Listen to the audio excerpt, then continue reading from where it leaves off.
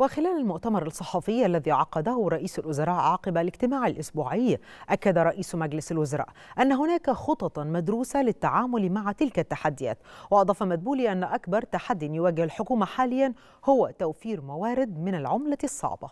إن طبعا التحدي الأكبر ولا يخفى على حضراتكم جميعا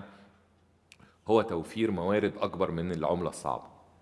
وده اللي الحقيقة الحكومة النهارده شغالة على هذا الموضوع بالتنسيق مع كل الجهات مع البنك المركزي مع كل الوزارات على أساس هناك خطة وتصور واضح لتوفير العملة الصعبة في خلال الفترة الجاية. لأن طبعا إحنا نعي تماما الفترة الاستثنائية اللي إحنا موجودة وبنتابع على مدار اليوم كحكومة إيه الصعوبات اللي موجودة وازاي ان إحنا نذللها والخطة اللي موجودة النهارده وموضوعه محطوطة لغاية 30 6 بصورة مبدئية كخطة عاجلة 30 6 23 يعني بنهاية العام المالي الحالي وأيضا طبعا على المدى المتوسط للسنتين ثلاثة القادمين.